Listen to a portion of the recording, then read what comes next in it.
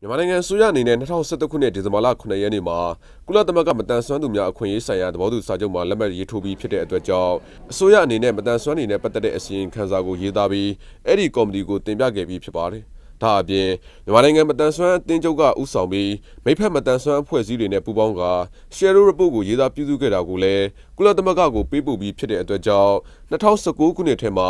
ကုလသမဂ္ဂမတန်ဆွမ်းသူများကောင်စီမှာကြားနာပွဲနှစ်ကြိမ်ပြုလုပ်ဖို့ရှိနေပါတယ်။အဲ့ဒီကြားနာပွဲမှာမြန်မာနိုင်ငံထဲမှာရှိနေတဲ့မတန်ဆွမ်းတွေရဲ့ရပိုင်ခွင့်အခွင့်အရေးတွေကိုပြောဆိုဆွေးနွေးဖို့အခုအစည်းအဝေးမှာကော်မတီတရက်ဖွဲ့ပြီးတွားမဲ့သူတွေတင်ပြမဲ့အကြောင်းအရာတွေနဲ့ရမုံငွေကိစ္စတွေကိုဆွေးနွေးနေတာလည်းဖြစ်ပါတယ်။ ဒီမှာတွားဆွေးနွေးမှာဘယ်ကျွန်တော်တို့အများကြီးဆွေးနွေးလို့မရအောင်။၄၅ဆယ်ချက်တွားဆွေးနွေးတော့ဘယ် hot issue ကိုကျွန်တော်တို့ raise လုပ်မယ်ဆိုတော့ဦးစားပေးဆွေးနွေးမယ်ဆိုတော့ကျွန်တော်တို့အခုအများသဘောတူကျွန်တော်တို့ဆုံးဖြတ်ကြမယ်။အဲမဆုံးဖြတ်ခင်မှာဘယ်အဖွဲ့ရသွားမယ်ဘယ်သူတွေဥဆောင်သွားမယ်ဘယ်လိုပုံတန်နဲ့သွားမယ်ဆိုရင်ကျွန်တော်တို့ဒီ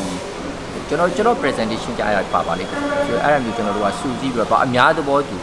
အများကိုကိုစားပြုပြီးကျွန်တော်သွားတာဖြစ်တဲ့အတွက်ကြောင့်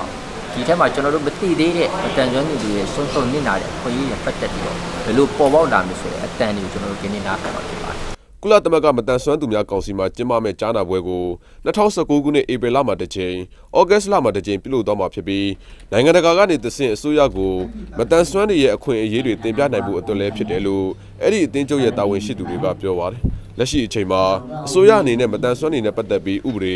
ဤဥပဒေနဲ့အမျိုးသားကော်မတီတရက်ဖွဲ့စည်းထားနိုင်ခဲ့ပြီးဖြစ်ပေမဲ့လည်းမတန်ဆွမ်းနေနဲ့ပတ်သက်တဲ့အခွင့်အရေးရရှိမှုအတွက်အားနည်းမှုတွေရှိနေဆဲဖြစ်တယ်လို့ပြောဆိုတာတွေရှိပါတယ်။ဝက်တွေကတော့အများဆုံးရှိတာပေါ့နော်။အဲဒါကျွန်တော်တို့ဒီဒီမှာစီဝါဖွင့်ရေးတွေမရသေးတာပေါ့နော်။ဒီဥပဒေတွေဆိုရင်လည်းဟိုဒါဥပဒေကတော့ပြန်နေပြီဒီဥပဒေလည်းပြန်နေပြီ။ဒါနဲ့တကယ်လည်းလက်တွေ့ကျကျအကောက်ခဲ့ဖို့ကအားနည်းနေတယ်။ အဓိကအစိုးရအနေနဲ့လုပ်ရမှာတော့ဥပဒေကိုတင်းတင်းကျပ်ကျပ်နဲ့ပေါ့နော်။ပါအောင်ကဲမှာပေါ့ကဲနဲ့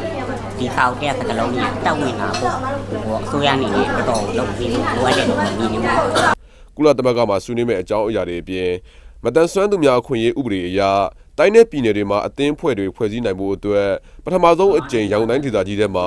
မတန်ဆွမ်းသူများအသင်းဖွဲ့စည်းနိုင်ရေးအတွက်လည်းဆွေးနွေးသွားဖို့ရှိနေပါတယ်ကျွန်တော်အောင်သူပါခင်ဗျာဆော့ဗီရှူထုတ်တာအញ្ញံကိုရေးကြည့်တယ်။ အော်ကျွန်တော်အချင်းအောင်မှာဒီလိုမျိုးကျွန်တော်ချင်းအများကြီးမရနိုင်ဘူးလို့ပြောပါတယ်။သွားမဲ့ကိုယ်စတဲ့ဖွဲ့ကိုမင်းတို့နိုင်ဝက်ကြရရင်တော့ဒီ၅ခုမေးဒီစိတ်ကူမေးကျွန်တော်ပေးလိုက်ရမှာရှိဒါခုနပေါ်တိုင်းကျွန်တော်တို့ spoiler ကျွန်တော်ပြောသလိုဒီဘယ် issue တွေဆွေးနွေးရမယ်ဆိုတာကျွန်တော်အခုချိန်မှာချလို့မရဘူး